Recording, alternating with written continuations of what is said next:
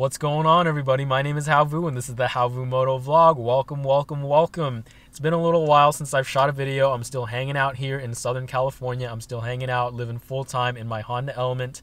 For those of you who are new to the party, my goal is to travel to all of America's national parks, or as many as I can, while living full time in my SUV. So, the topic of today's video is the things that I hate about living full time in an SUV. I was feeling really good this morning, so I decided to shoot a video about all the things I hate about living in my SUV. Um, it's a little bit misleading being on YouTube. You have to be a little bit misleading with your with your titles, I'm afraid. But um, I want to talk before I get into the video about about hating. Right? I always talk about gratitude on the channel, and um, when I say hate, I mean there are certain things that are annoying and uncomfortable when you live in an SUV, a tiny, tiny, tiny SUV, right? You have to make some sacrifices. And I think it's just a matter of mindset, it's just a matter of perspective. When you look at those discomforts and those annoyances and those setbacks and those stresses, they're really just opportunities for you to increase the happiness in your life or decrease the stress, right? You can always look at the other side of the coin. So when things get a little bit annoying, it's an opportunity to find the silver lining, find something to be grateful for, right? Every day that I go without a hot shower makes the hot shower I do get that much better. And when I'm in that moment showering and cleaning my body and cleansing myself, I can re- remind myself to be grateful how good this feels. I won't take this for granted anymore. And it's a practice, right? It's just a practice, a gratitude practice. It doesn't happen overnight, but you get a little bit better every time. And I think it really starts with, with seeing those stresses and those discomforts and those annoyances. They're just opportunities for you to learn and grow and be happier, right? You're not always going to be at a point where you're like super smiling, happy, like singing out loud all the time. That's unrealistic, right? But you can use those opportunities to just grow a little bit at a time. So you're just like on an even keel, right? Just experiencing the things that you need to experience and just just growing and enjoying the journey, enjoying the moment. And that's what I'm trying to do. So let's get into it. The number one thing that I probably hate about living in a car is the bathroom situation. It's it's definitely the the most uncomfortable, awkward, annoying thing for me. Um, basically, not having a bathroom in the car, not having running water, and having to go to Planet Fitness to shower. Don't get me wrong, I am eternally grateful for Planet Fitness. It, it just blows my mind how many locations there are throughout the United States. And for twenty five dollars a month, not only can I work out, um, but I can shower there, and I can shave, and I can and I can poop and pee. Um, but and it's 24 hours. Like it's crazy. It's like it's pretty crazy. On the weekends they're not 24 hours which is which is what i'll get into um, in a bit. But the planet fitnesses that i go to generally even if the bathrooms are nice and modern there are some downsides. And for me it's the men's bathroom in particular i don't know about the women's bathroom so if some women have planet fitness experience, please let me know because the men, if not held accountable, are just slobs. I mean, it's downright disgusting what they do to the bathroom. Um, I've seen blood. I've seen pubic hair. I've seen like scrunched up balls of like tissue paper, paper towels, like sh- razors. I've seen like baby powder spilled all over the floor, just like anything you can imagine. It's it's pretty gross. There's always pee on the floor um, when I when I go take a number two at Planet Fitness, I don't even let my shorts touch the floor. I like I like hold them at my knees because that's how gross it is. Like seriously, um, shower sandals are an absolute must. I found a pair of like rubber Nike shower sandals that have like little holes in them so they drain and dry quickly. I mean, it's an absolute essential for me. Um, there's like changing stalls in the Planet Fitness across from each shower stall, right? And sometimes dudes are in there for like 45 minutes doing God knows what I mean, I can't tell you how often this happens, right?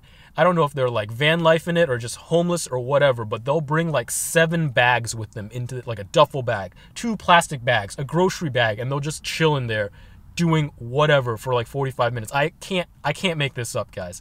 Um, so it can be pretty gross at times. I have to like check each day like which which stall I'm gonna use because like which one is like the cleanest, free of like any nasty like super nasty things. Um, and bless their hearts at Planet Fitness. It's it's hard during these times to find people that want to take jobs like that, and um, they don't have like a dedicated bathroom cleaning crew. I mean, it's like ten dollars a month for most people. Like, what do you expect, right? So like, I'm I'm like super grateful for that. But just just how it is. Um, I try to find other places to poop around the area. That's the kind of benefit of being in an area for a long period of time. When you're just traveling on the road and just passing through, right? You just take what you can get. But since I've been in Southern California for a little while, I like know where I want to go and where I like to hang out and like what libraries are best and where the best bathrooms are and stuff like that, like the cleanest, most private bathrooms. So, but um, aside from that, I think that um, being in the car, not having access to a bathroom all the time, like when I had an apartment, I had a really nice, clean bathroom that I maintained, like super clean. You could eat off the floor, but now it's just like if I want to wash my face, if I want to wash my hands, if I need to poop, if I need to shower, if I want to take two showers a day or something like that, just like like that. I can't do that anymore, right? Just having access to plumbing and running water is something that I will never take for granted anymore. Um, having access to really nice toilet paper, I always used to buy the best toilet paper, right? Like spared no expense on toilet paper. Now it's just like that single ply, like you can read the newspaper through it, very cheap stuff. That's my life now. Um, I do have a pee bottle, which my buddy Steven Aldaco mentioned in his um, one of his YouTube videos, which I thought was amazing because I think that everybody that lives in their car has a pee bottle, right? Whether they want to admit it or not. I use a 64 ounce sweet tea bottle. I just bought it from Target. I don't drink sweet tea, so I just poured it out, and um, it, it, works out really, really well. It has a nice wide opening, and um, it has good capacity. I dump it out like in a bush or something like that every day. It's like never been a problem. Um, but it's like one of my most essential things the pee bottle. Like seriously i love the pee bottle. Um, and my gut is pretty solid so i don't find myself having to poop like randomly throwing up food poisoning. It doesn't happen too often but um it's just kind of a bummer sometimes not to have like direct access to a bathroom. I have to kind of like plan things around like when i'm to shower like plan my day if i'm to be active if, if i'm to be sweating if, I, if i'm to skip a shower today or whatever right? So um you know there's less freedom there with the bathroom situation. And the bathroom situation at a public gym that costs $10 a month is not always the cleanest option. So that's basically that's basically um, my number one most annoying most most hated thing about living life on the road.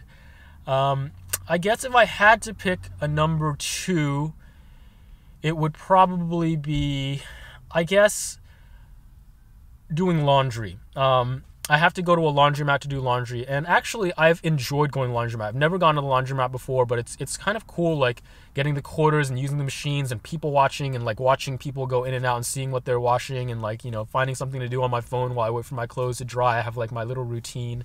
It's actually pretty fun.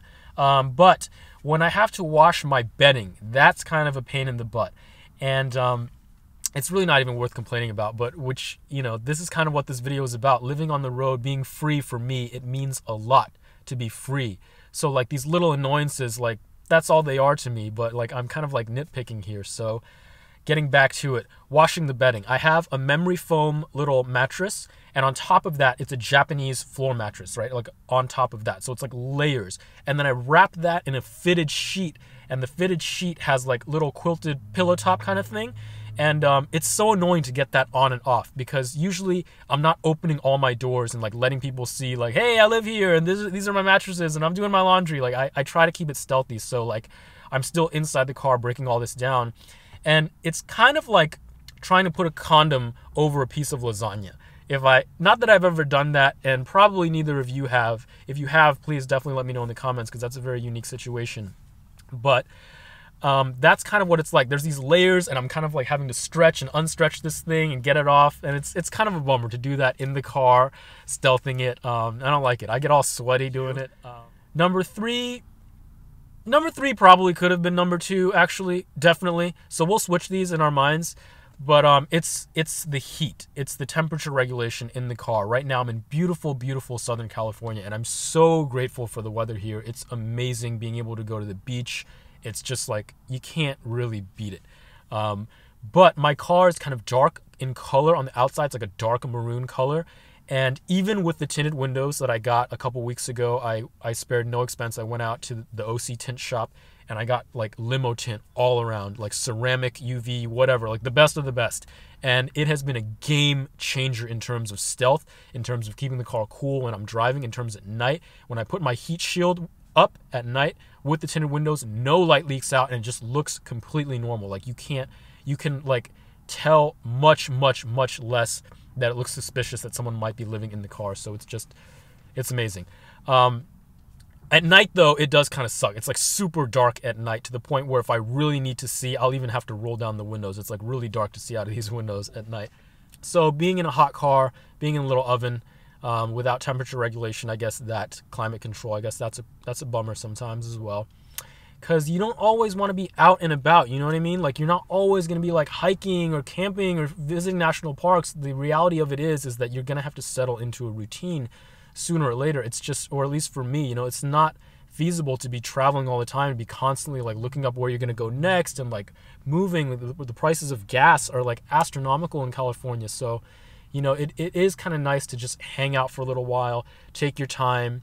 Um, I've been like even finding jobs like so I can make some extra money on the side and just prepare for travel season. And I have a chunk of time where I'm traveling and then just kind of like stay in one spot for a little while. I think that's what I'm going to be doing moving forward. I'm going to stay in one spot. I'm going to work a little bit, find jobs that I like. I'm going to explore the parks around that area, explore like state parks, national monuments, just like things like that instead of just being laser focused parks, national parks, national parks, national parks, national parks, right? I knocked out a lot last travel season. I think I'm going to tone it down and, and switch things up this travel season and see how that works out. But guys, that's it. The three worst things about living in the car. If I can think of more, maybe I'll drop it in the comments. If I forgot anything or if there's something that you absolutely hate about living in your car, please let me know in the comments. As always, if you've made it to the very end, thank you so much. I know my videos are very long, so it means the world to me. And as always, I wish you peace, health, and unlimited joy on your journey, wherever it may take you. Thank you so much. I'll see you on the next one.